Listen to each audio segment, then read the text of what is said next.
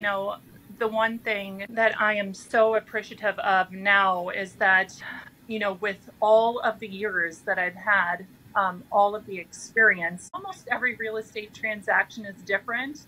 But after you've done different for 20 years, you feel like maybe you have handled almost everything. So when things come at me now, I, I have the knowledge, and it's it's crazy how I used to be the person asking questions in the beginning of my career and really looking up to um, my mentors or my office managers or people that had time on their side in the career. Now I'm that person, and so I just feel so honored when people come up and say, "Hey, I have no idea how to do this. Like, can you help me navigate through this situation?"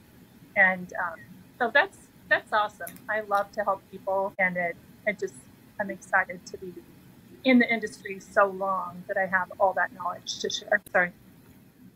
What's one thing you wish more people understood about the work that you do in real estate?